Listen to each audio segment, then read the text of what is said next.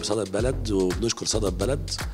أحب أعرفكم بنفسي الأول. أنا دكتور وسام الزغل استشاري البطنه والسكر بمستشفى الطلبة جامعة عين شمس والعضو التنفيذي لشركة بروسيا الطبية بالمشروع ده. بنرحب بيكم في Green Heart ومدينه بروسيا الطبية. بفعاليات يوم القلب العالمي ونستغل الفرصة دي إن إحنا بنرحب بصدى البلد والسادة المشاهدين.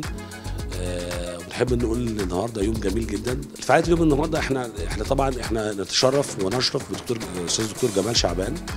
آه، عامل مركز Green Heart وسط مدينة بروسيا الطبية وده جزء منها فبدأنا إن إحنا عملنا حملة توعية للناس النهارده الصبح. باليوم القلب العالمي وبدأنا بمحاضرات الأطباء كورس حاجة اسمها BLS اللي هي Basic Life Support أساسيات الحياة. عملنا دورة معتمدة حوالي 20 طبيب. حديث التخرج ال BLS ده المفروض كلنا بياخده الأطباء تمريض لأن حاجة ضرورية جدا لدورة دورة الحياة يعني. طبيعي جدا لازم الناس ياخده يعني كل الناس الناس بتاخده. بيسموه Basic Life Support دي الإسعافات الأولية الضرورية لل... لل... للصحة.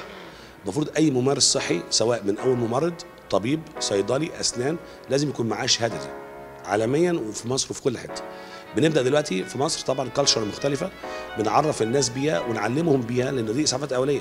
والمفروض كمان إن في المصانع والشركات حتى مش أطباء والمش الممارسين الصحيين ياخدوا شهادة ال BLS اللي هي شهادة ال- ال- الإسعافات الأولية. إحنا بتقابلنا حوادث كتير بتقابلنا مشاكل كتير نقدر نتعامل معاها. فبدأنا مع 20 طبيب النهارده درسنا لهم هذه الكورس وخدوا الشهادة. ثم على دلوقتي كمان نص ساعة هنبدأ بماراثون حاجة رياضية ماشي حوالي 4 كيلو لتوعية للقلب يوم عالمي للقلب. وهنعمل بعد كده فعاليات إن إحنا نعمل screening للسكر لأن مرض السكر مهم جدا جدا للقلب. آه، بصفة تخصصي طبعا أنا بتكلم على السكر. إحنا السكر مهم جدا إن إحنا هو كوليسترول فبنعمل screening دلوقتي لأعضاء نادي بروسيا وال- والجمهور للكوليسترول اللي عنده كوليسترول عالي واللي عنده السكر. وبعد كده هنعمل محاضرة توعية. دكتور جمال الاستاذ دكتور جمال هيتشرف يشرح تو- توعية أهمية القلب والحفاظ على القلب. وأنا بعديها هتكلم على السكر وإزاي والتوعية بالسكر وإزاي نعرف السكر بيجي إزاي وإزاي نتعامل معاه وإزاي إيه خطورته وإزاي إن إحنا نحافظ على نفسنا. ده مشروع العالمي إن إحنا إزاي نكتشف السكر. رتم الحياة بقى سريع. ال- الرياضة قلت. التليفون الموبايل والنت بقى سريع. بقاش نركب مواصلات. حياة بقى sedentary life اللي الحياة الحياة ال- الهادية. دي بتعمل حاجة زي السمنة والسمنة دي تؤدي للسكر.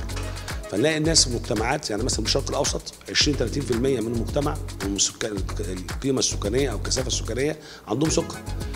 ده المكتشف غير مكتشف حوالي 10% طب نكتشف إزاي؟ في أعراض مبكرة للسكر. خسان الوزن تبول كتير عط- العطش كتير الهمدان يحس جسمه همدان. ده نكتشف السكر. طب نعمل إيه؟ سهلة جدا. ان إحنا نعمل screening نعمل one touch سكر عشوائي في أي مكان. لو طلع فوق ال 200 ده ده نشك إن في السكر. طبعا عشان نشخص السكر بنعمل حاجة اسمها سكر تراكمي نعرف القصة ماشية إزاي. برضه نشكر by the way يعني بالمناسبة نشكر وزارة الصحة انها عاملة مشروع. المشروع دلوقتي الكشف المبكر عن السكر وامراض الضغط وامراض السارية. بيعملوا على الوحدات الصحية بيلفوا فعلا. بيشوف بيعملوا تحليل سكر عشوائي وبيقيسوا الضغط. ودي حاجة مشروع هايل جدا جدا مشروع قومي. بنشكر وزارة الصحة والقائمين عليها إنهم بيعملوا هذا المشروع. وفعلا اكتشف ناس كتير بيجي في العيادات الناس يقول كنا نروح الحملة أو نروح الوحدة الصحية بنحلل نلاقي السكر عالي. فيجوا العيادة نعالجه فنشكر وزارة الصحة في هذا الموضوع.